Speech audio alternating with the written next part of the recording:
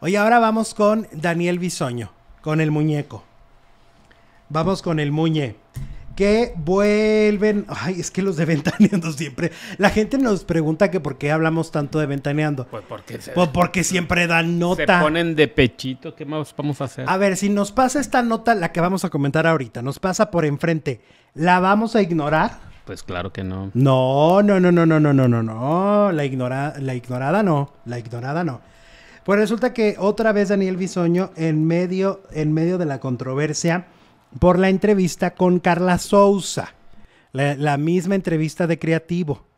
Oye, Roberto Martínez sin querer se ha convertido en la nota de farándula en, las últimos, en los últimos meses. Mm. Bueno, pues Daniel Bisoño salió en defensa de la actriz y de paso pronunció comentarios negativos en contra de cierto sector de la población. Dice, durante un segmento en el programa de Ventaneando dijo, ya basta con estos morenos que dicen que lucharon tanto por salir adelante.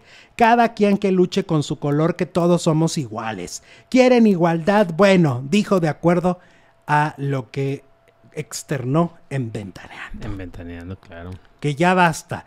O sea, está diciendo basta Tenoch Huerta. Sí. Pues sí, ¿quién más? Yo no conozco muchos famosos que estén reclamando lo, el- lo del color de la piel, ¿no?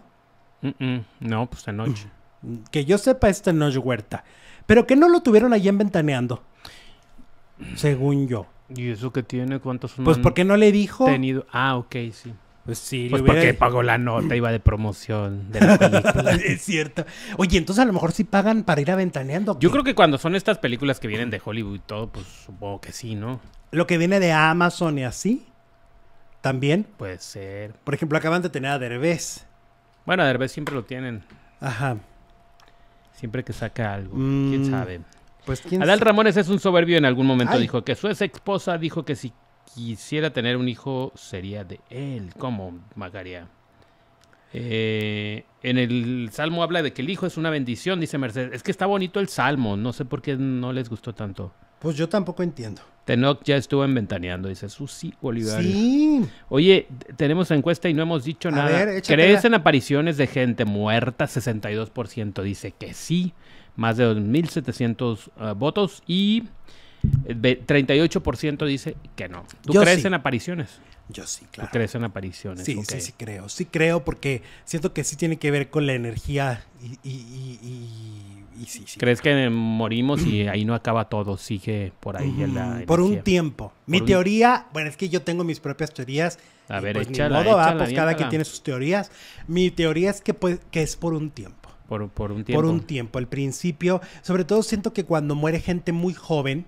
Lo que pasa es que, o sea, la- a- todos creemos que la muerte nos va a llegar ya cuando estás más grande. Y cuando, cuando de repente empiezan a morir personas a los 25, a los 27, a los 40, a los 50, yo siento que es un shock para lo que tú pensabas.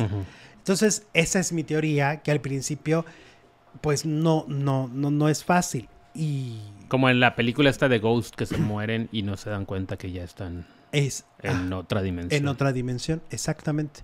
Algo así. Yo sí creo. La ¿Pero verdad. qué te pasó a tu mamá? Sí, me llegaban a pasar cosas. Ahorita, pues no sé, no me, no me vienen a la mente muchas anécdotas, pero sí me llegaban a pasar cosas. Este, y por eso lo creo. Pues sí. Sí. Porque además siento que mi madre pues se fue con muchos pendientes. Pues es que tú lo viviste, entonces Sí. pues es, es tu experiencia y nadie te la puede refutar, digamos. Claro, y a lo, a lo mejor es la historia que yo me quiero contar, igual y no pasó, Y, y exacto. pero igual es lo que me quiero decir y me quiero contar. Y pues muy ¿No? respetable. Exacto.